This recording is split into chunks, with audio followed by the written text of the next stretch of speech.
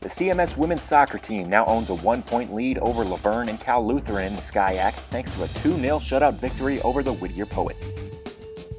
26 minutes in, Dara Shields had an opportunity in close off a low feed but couldn't beat the Poets goalkeeper, who scrambled back to position just in time to keep the ball out.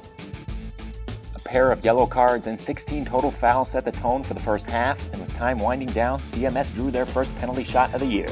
Michaela Brems gave them all the momentum going into the intermission, beating the goalkeeper on a mid level shot to the left side.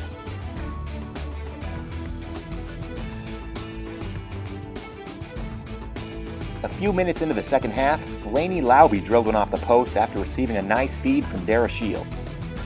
Lauby got a second chance later in the match and this time converted for CMS when a Laura Hayward cross was played by Sarah Mallett right to Lauby in deep, tapping in the insurance marker for the Athenas. Morgan McCoy has seen more action for CMS lately, taking over in the second half in the past three matches and hasn't allowed a goal in her last five appearances. McCoy shut down Whittier forward Tess Pepsis twice on identical plays in the 75th and 81st minutes, cutting down the angle on the right side of the cage both times to keep Whittier off the board. Overall strong play would earn the Athenas their second straight victory and improve their conference record to 3 2 2, where they sit now only four points out of first place. The Athenas have not lost in their last four matches and will look to extend the streak to five this weekend when they take on Redlands and UC Santa Cruz.